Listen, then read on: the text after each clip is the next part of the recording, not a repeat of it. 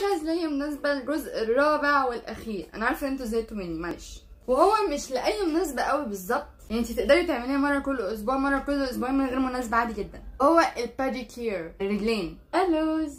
الرجل دي أكتر حاجة بتقشف بسرعة. فيعني لازم نهتم بيها و... وندلعها كده كل فترة. بصراحة دي أول مرة أعمل باديكير لنفسي يعني في البيت. وقعدت أدور كتير وبتاع لحد ما لقيت أحسن طريقة.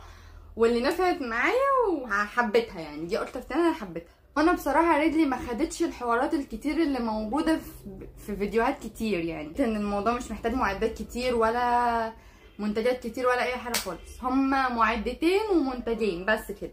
يلا يلا من غير رغي كتير. الجردل ده حطيت فيه مية دافية يا دوبك رجلي تستحملها. جبت ده أملاح باديكير فوري... فورية. تقدري تستبدليها ببيكنج صودا وليمون مع بعض وتحطيهم. أو تستبدلي بخل بس. هحط منها معلقة كبيرة معلقة كمان معلقة كمان. بعد كده كمية يختي كمية كبيرة من الشاور جل وبرجلك كده تقلبي. هنفضل كده نص ساعة. وعلشان أستغل الوقت عملت لشعري حمام زيت. أنا برضه هيتصاب على شعري نص ساعة. كده عدى تقريبا نص ساعة. تاني حاجة هعملها هو ال scrub يا إما تجيبوه جاهز. يا إما تستبدلوه بقهوة أو رز مطحون مع عسل. وتدعكي علشان ده هيساعد انت تشيلي الجلد الميت.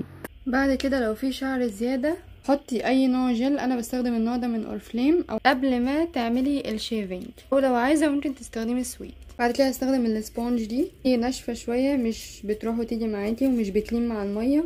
شبه الحجر اللي كانت عند الأمهات زمان. تبتدي إن أنت تقعد تتحكي تتحكي كده. بعد كده هستخدم البتاعة دي. هي حادة شوية خصوصا للناس من اللي عندها موضوع الجلد الميت ده بزيادة شوية هيساعد إن أنت تتخلص منه بسهولة. البتاعة دي عاملة زي المبشرة. بصوا طلع الجلد الميت من الناحية التانية. بس بصراحة أنا حاسة إن رجلي نعمت قوي بعد التبشرة دي. طبعا دي رجل واحدة تحس إنها عندها ستين سنة وتنها بايشة طبعا من المية. هقص ضوافري أنا مش بحبها طويلة بحبها يا دوبك اللي قصيرة خالص.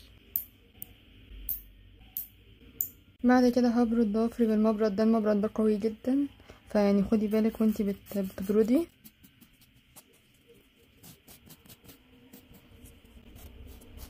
بعد كده هتجيبي الإبرة الصغيرة دي وهي هتحاولي تزقي الجلدة لجوه. الجلد اللي حوالين الضوافر ده بيكون جلد ميت فهيتشال معاكي بسهولة.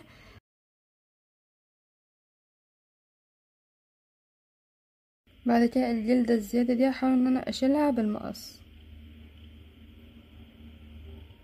بيبقى فيه جلد ميت حوالين الضافر برضو هشيله بالمقص بالراحة من غير ما تعوري نفسك.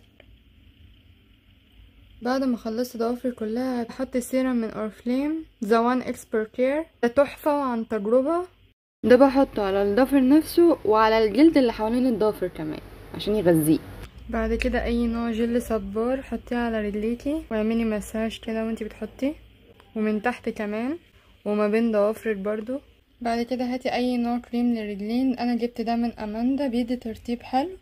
برضو هتحطي على رجلك وهتدعكي.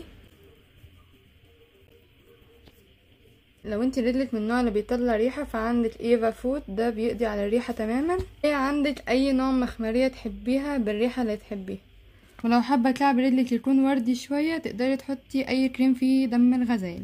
وده كده لي رجلي بعد ما خلصت خلاويص. بس يا ستي كده أنا خلصت.